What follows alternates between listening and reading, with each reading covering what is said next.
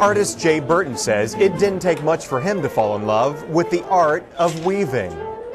I uh, grew up with a father who was an artist, and my wife is an accomplished artist. I tried lots of different things. I've always sort of been interested in this, and a chance came to take a class here, and all it took was one, and I was hooked. He's not alone. Hundreds of artists just like Burton recently gathered at the Cultural Arts Center in downtown Columbus for the Bicentennial Artists Informal Party.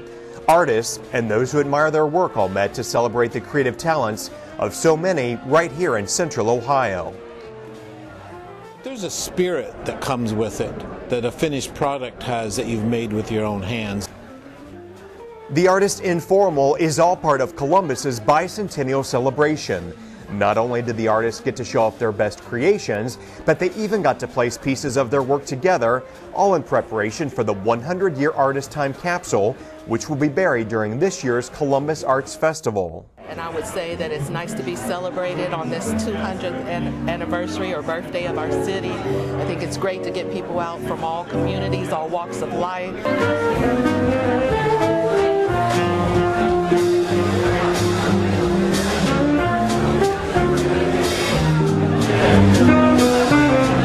The Artist Informal not only provided the backdrop for accomplished artists, but it was also the perfect setting to promote a wide array of classes that are offered at the Cultural Arts Center.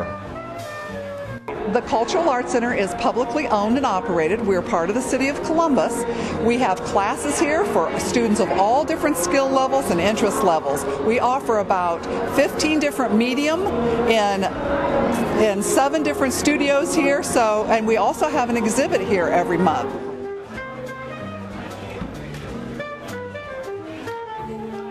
For more information on upcoming classes and events offered at the Cultural Arts Center, visit culturalartscenteronline.org or you can call 614 645 7047.